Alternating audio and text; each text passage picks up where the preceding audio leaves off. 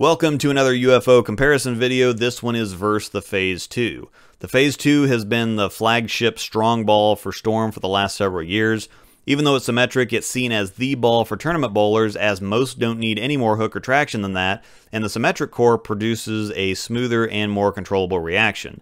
There are occasions when you just need more traction and shape though, and while most bigger hooking asyms just increase traction, the UFO increases both and makes them effective. The Phaze 2 I'm showing here is brand new, and we're on the 2019 USBC Open Championship singles and doubles pattern. As far as pure traction goes, the Phaze 2 has enough to nearly hang out with any ball out there.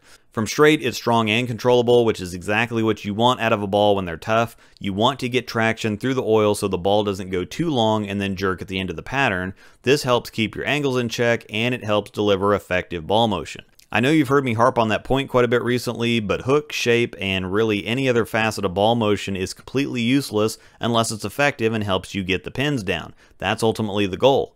The Phaze 2 does this very well, that's why you see it on TV all the time in the pros' hands and in better bowlers' bags across the country. It may not always come out depending on the pattern, but there are very few people who own one or more that don't take at least one or more with them wherever they go. If the opportunity to use it presents itself, I'm going to take full advantage.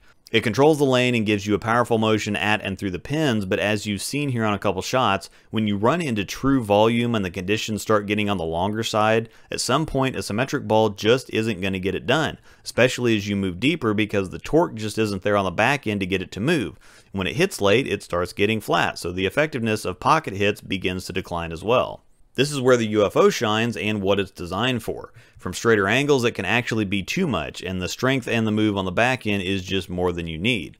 Most of the time, as the lanes transition and burn up, people will naturally go to weaker balls that would get down the lane and use track burn as hook or the bumper to help the ball finish. However, on patterns like this that are so heavy and on the longer side, the amount of friction you need just may not ever exist.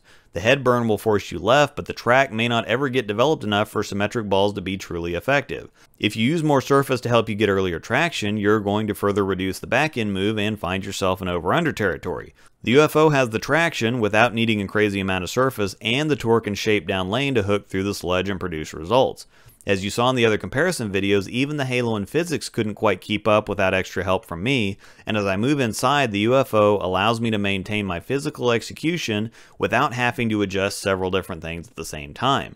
The fewer adjustments you have to make as the lane transitions, the more consistent you'll be, and the better your results will be. The UFO is obviously a very strong ball that won't be in play as much as something like the Phaze 2, but I also think this video illustrates the need and use for this kind of option.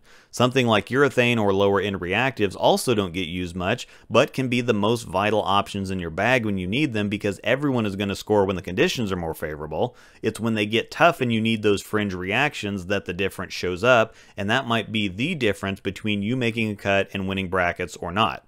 Thanks for watching. 嗯